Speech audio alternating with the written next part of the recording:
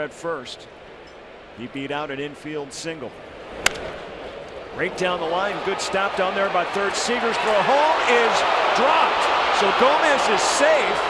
Touches the plate just to make sure Gindl winds up at third. And uh, Quintero's hurt. And it looks like he's holding his knee. That was a good collision, a, actually a hard collision between Gomez and Quintero, and that's why he dropped the baseball.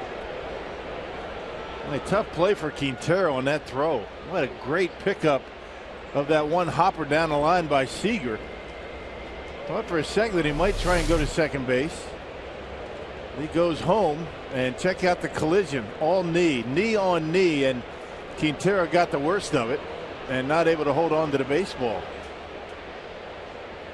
Look at the knee right into the inside of the knee of Quintero, and that's what he was holding on to. The umpire signaled a safe sign, but it didn't look like Gomez touched the bat base. So you see the safe sign, so he's in there, but he never touched home plate. And he knew it.